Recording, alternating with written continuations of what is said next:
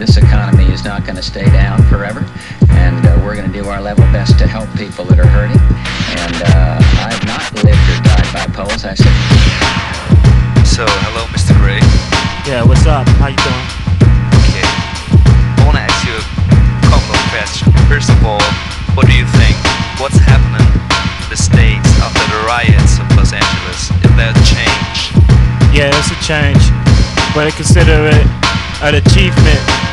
You know what I mean? Because basically in America, the black people, the Indian people, the Hispanic people, all these people except for the white people has been getting the bad end of the motherfucking stick. You know what I'm saying? So I consider it basically a motherfucking achievement. You know what I'm saying?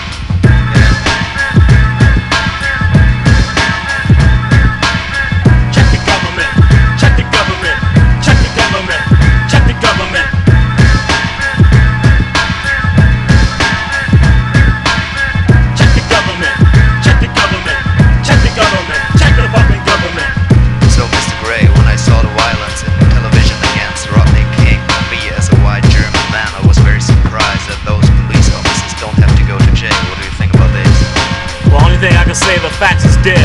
You see four police officers beating down one black man like a damn animal. So only thing I can say is I can relate to this experiences because I have experienced things like this in my neighborhoods. You know what I'm saying? From living in America as a black man.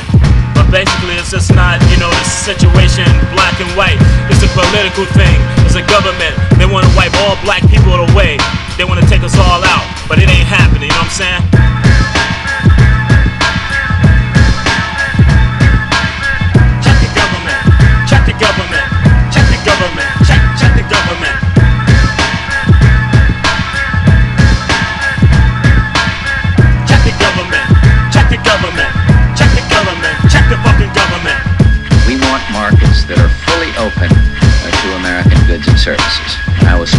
We're looking for a true economic partnership in this trip.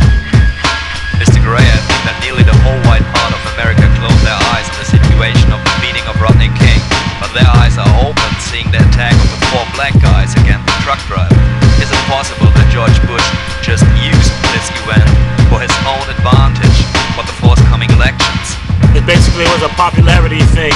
He basically won the heart of America because Americans saw that he was the hero coming to the rescue with the National Guard and all the armed forces that went to Los Angeles.